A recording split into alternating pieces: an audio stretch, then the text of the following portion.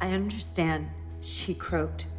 And there it was the rush of sensation. His breath made the air move, throbbing, and his body glistened as she walked slowly into the room. Slow, deep, desperate.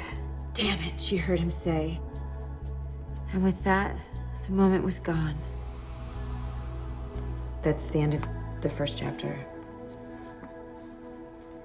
I'm sorry, was this just totally misguided? No! Are you? No, no, what are you talking? Go on, go on, go on, please. Really? You would, come on, you would tell me if I'm crazy? No, We're not crazy. The floor where I'm sitting is wet. Come see.